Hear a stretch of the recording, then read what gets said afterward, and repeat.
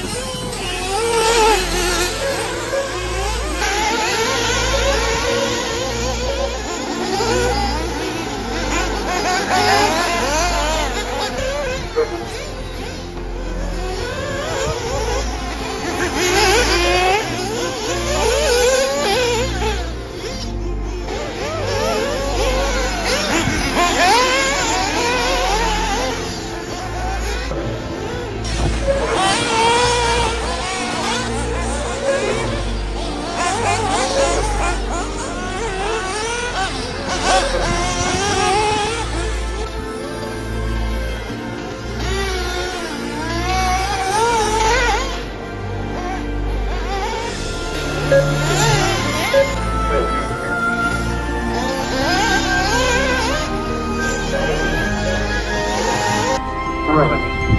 Or no? Or?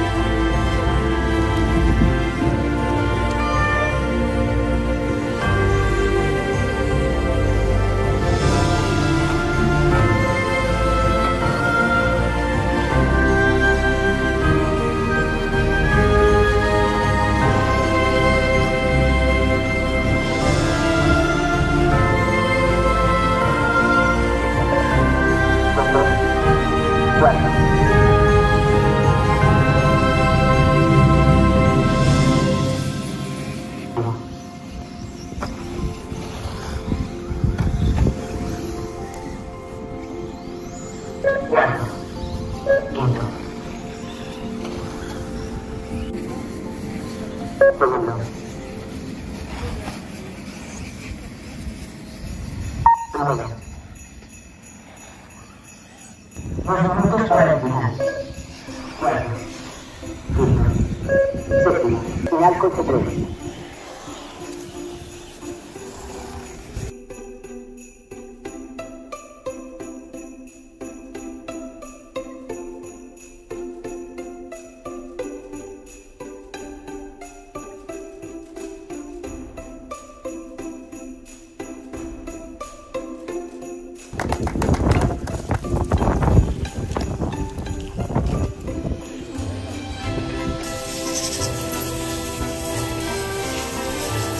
Pues nada, aquí seguimos con el gorrito de Papá Noel. Hemos terminado la carrera, el trofeo de Navidad. Hemos conseguido un cuarto, cuarto, tercero, que al final hemos subido terceros al podium. Y nada, lo hemos pasado muy bien. No me lo esperaba ya que no tenía apenas ritmo, el coche se iba mucho de atrás cuando metía un poquito de acelerador y al final perdía bastante tiempo. Había muchos trompos y muchos, muchos vuelcos. Pero lo hemos pasado muy bien, ha habido muy buen ambiente, que es lo que importa al final. Lo hemos disfrutado mucho, ha sido una pasada ver a los 1.8 nitro, a los 1.8 eléctricos y luego lo, la categoría en la que yo corría, el 1.10 4x2. Agradecer a la gente de ATV Racing Valladolid, a Pablo Zazo, a César, que han hecho un magnífico trabajo en la organización, lo hemos pasado genial. Y como siempre un placer venir a estas pedazos de instalaciones que hay aquí en Valladolid y disfrutar de un trazado tan complejo, porque el trazado de ATV tiene mucho relieve, tiene mucho salto, hay apenas zonas donde puedas meter acelerador y al final no tiene nada que ver con el circuito de Astro que estuvimos por ejemplo en Mieres. Aquí te, en cuanto te sales de la trazada y coges un poquito de polvo ya empiezas a enroscar te vas por la zona abierta empiezas a enroscar y ya te cuesta coger ritmo. Y con ganas de más radio control, que yo creo que esta no va a ser la última carrera del año. Y nada, espero que os haya gustado el vídeo. Ya sabéis, si, tenéis cualquier duda sobre las categorías, podéis dejar comentario abajo en la descripción darle like, suscribiros y nos vemos en próximos vídeos. Hasta otra. Chao.